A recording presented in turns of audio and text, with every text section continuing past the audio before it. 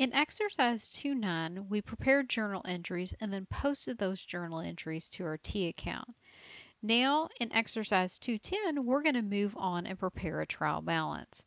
One item that I'll note in the instructions is they've indicated we weren't given a date in 2.9. They've indicated that our date's going to be as of May 31st. So let's go ahead and jump in. Now we've already done most of the work in exercise 2.9. Again, we prepared the journal entries, we posted those journal entries so we have our T account balances. So it should be much easier from here. One thing that I will note is if you're working the static version of exercise 2.9 and 2.10, you can use those same T account balances.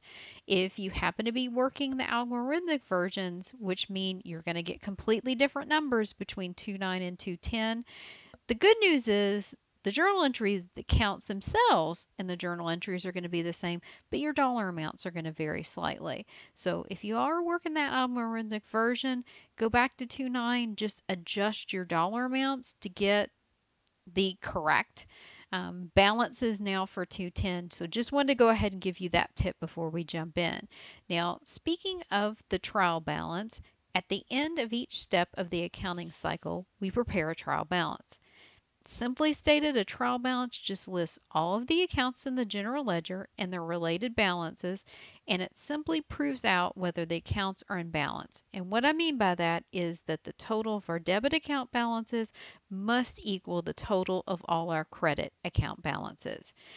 If it does, it proves out our double entry system and the accounting equation in general, and that's what we need. If it's not the case and our total debit account balances don't equal our total credit account balances, we've made an error somewhere. Can't tell you exactly where. Once we finish off, I'll give you some hints, but we've made an error somewhere. We needed to do some backtracking. I'll also note that unlike the financial statements, the trial balance is an internal document. Things like our income statement balance sheet, those are external, but our trial balance is just for internal purposes before we move on to our financial statements to make sure total debits equal total credits. I like to think of the term trial balance. There's two words in there. One's trial means we're testing things out, and balance means we're trying to figure out whether total debits equal total credits. That's where I think it got its name from. So starting out with this internal document, it's always important to list the company name first. Remember, we're doing Spade Company. The second part is you want to list the report name, and that's going to be trial balance. The third important item is listing the date. And sometimes these are little things that I find that sometimes people forget when they're entering in connect to put this information in. It's important to indicate the date. This is being prepared as of May 31st. They don't give us the year, but at least we know it's the last day of May. Then we've just got simply the titles that we're going to list the account titles one by one all the way to the left. Here in our middle column is going to be our debit balances and here all the way on the right is going to be our credit balances. And all we simply do is go account by account. For example, we'll start out with our cash account here and list its ending balance for this particular period in the correct column depending upon whether it's a debit balance or credit balance. Our cash account is an asset. It's got a debit balance here on the left of 3,550. So we're going to enter that here. Then we're going to go account by account. And usually we start out with our assets first. Accounts receivable has a debit balance of $1,300. Office supply, another asset, has a debit balance of $300 office equipment. Again, the balance is on the left and it's an asset, so its normal balance is going to be a debit balance on the left is going to be 6200. So we finished off all our assets. Then usually our liabilities come next, which we have accounts payable next. It happens to be, if you remember, while we bought an item and had an IOU, we later paid that off. So we don't owe our vendors or suppliers anything currently. So the balance is going to be zero. And we'll go ahead and just enter a line here to indicate that it has a zero balance. Our next item is typically going to be our equity account. So we've got common stock the balance is here on the right. Remember, it's an equity account, so it has a normal credit balance. So we'll enter it here on our right also of $11,250. Our next item is typically going to be dividends. It has a balance on the left, which means that's a debit balance. Remember, even though dividends is equity, it's normal, the opposite equity rule. So it's going to have a normal debit balance of $3,000 here. Then we're going to move on to the revenues.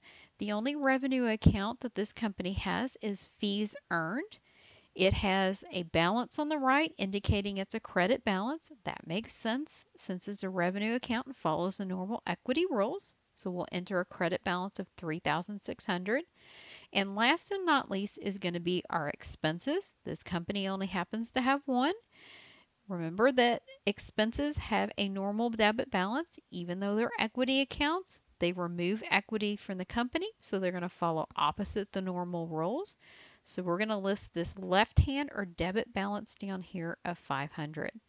Once we get all the account titles and their balances, their end of period balances entered in the appropriate debit or credit columns, then we're going to total each of the debit and credit columns. So I'm totaling these up. Our debits add up to $14,850. So just the addition of 3,550, 1,300, 300, 6,200, 3,000, and 500 equals 14,850. Let's cross our fingers that our credits equal the same. If we add up 11,250 plus 3,600 of revenues, we also get 14,850. So good news is we proved out debits equal credits. It appears like we've been doing our dual system correctly and our accounting equation is going to be in balance. If these had not been equal, have to do a bit of work, investigation to figure out what happened. It could be as simple. The first place I'd recommend starting is just retotal the columns. How easy it is it to just simply transpose a number, forget a number when you're adding up. If that doesn't seem to correct the problem, then you're going to have to do a little bit of backtracking. First, you basically go opposite the direction you first went with your transactions. Remember, you started out with journal entries, then the general ledger, then the trial balance. Now we're going to go backwards. See if we can find the error in the trial balance itself. If we can't, backtrack to the general ledger. See whether or not maybe just accidentally with fees earned instead of taking the number over as a credit balance of 3600 maybe you accidentally entered it in the debit balance column Maybe on the other hand, you accidentally transposed the number. Instead of 3600, you entered 6300 and just did an oops there. Those are simple things to do. If that doesn't seem to correct it, look at the account balances themselves in the general ledger. Maybe perhaps you just added up an account balance wrong. Hopefully by that point you found your error if not, you're going to keep chugging along and you're going to go back to the journal. Remember, that's the first point at which transactions were recorded. You're going to see maybe perhaps when you're posting an entry from the journal to the ledger, maybe perhaps you had an error in that posting. You didn't record it correctly in the general ledger.